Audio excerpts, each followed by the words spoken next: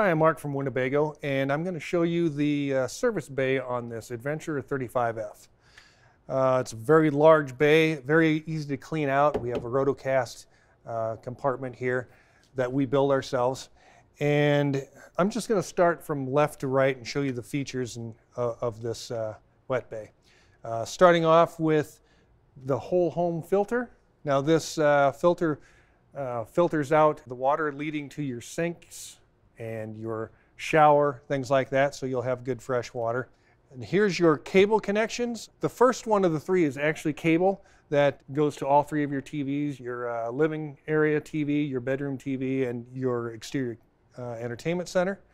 Next to it is the main portable satellite dish, so you can hook up a cable from a satellite dish that goes to, again, all three TVs. And then you also have a, a second dish that you can uh, actually put that directly to your bedroom TV. So you could have uh, two separate receivers and uh, um, be able to watch a different TV show on your bedroom TV versus your main TV. Here's your water pump, which uh, pressurizes your exterior shower. You can use that for a, a variety of things. The water pump is actually right there. And next to the water pump is a valve leading to this hose. And this hose is used to introduce coolant to your system when you're winterizing your coach. Here's your freshwater valve. It's in the down position now for tank fill.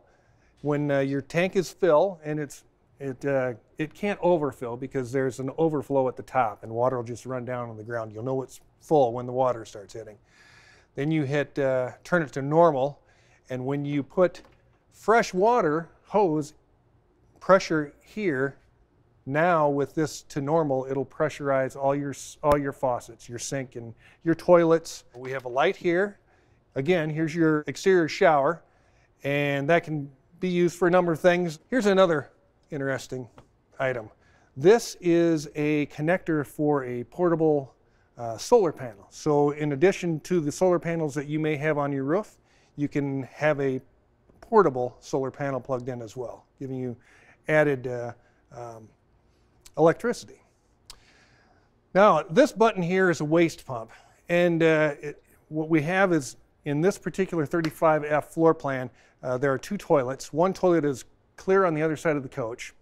And in order to um, clean out the, the tank that's on that side for the toilet, it needs to be manually, it needs to be electronically uh, pumped with a macerator pump.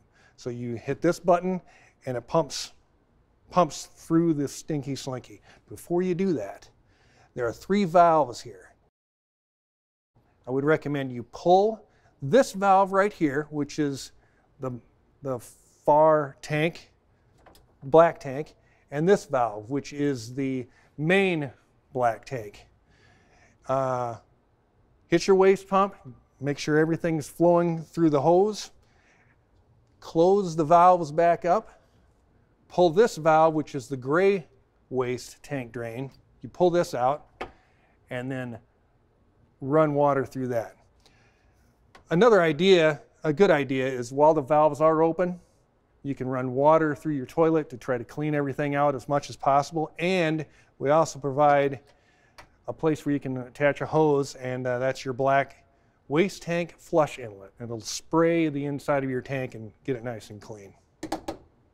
So once you, once you uh, dump your black tanks, you close those, you open up your gray tank, you flush that out, close it, put your lid back on, punch your slinky away, and you're good to go.